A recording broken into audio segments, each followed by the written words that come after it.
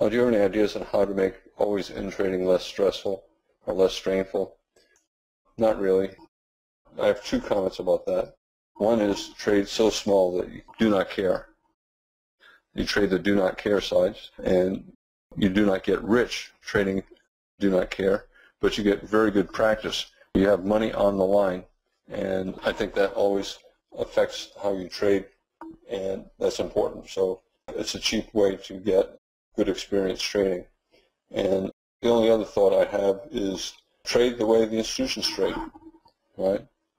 If you watch television, you watch anybody on television, they tell you how, how they trade, and they tell you a lot. So in a market like this, this is the monthly chart.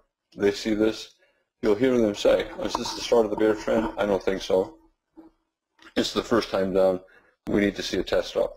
And a test up and it didn't pull back. Same thing here. You see all the selling. Do you get out of always in long below here or below here? Well, you might be able to, right? If you're able to get back in above here, then it's okay to get out there. But a lot of the professional traders on television, when they see this, they'll say, well, that's not a good top. I'll wait to sell if it tests up and gets a double top. So in other words, they don't get out on the first reversal down. And that's true all the time with professional traders. 1987, you, you see the crash. A lot of traders, they do not get out right away. It show something, but I don't have the cash index on this chart. And the same with all of this, daily chart. Do the always in traders get short here? No. They stay long, they'll sit through this and maybe get short here, second time down. Do they get long here? Yes, it's the second time up, a double bottom, or do they get long here? So a lot of stress comes from trying to fine-tune it and get as many trades as you can. But you just ask yourself, below bar 5, is it likely the high of the day? No, I'm going to hold long.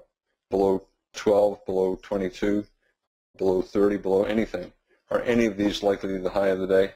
Well, I'm not convinced. And if I'm not convinced, then I assume that what is to the left will continue, will continue to work higher. And then if you get a big bear breakout, you say, ah, okay, it looks good. The bears did a good job. I'll sell out of my longs on a rally.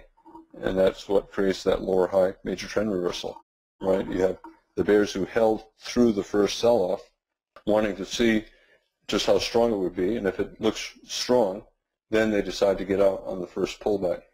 When it pulls back 50% or so, the bulls get out and the bears who did not sell say, okay, I didn't sell the first time down, but the first time was so strong, we should at least test the bottom of that first sell-off, and therefore I'll sell.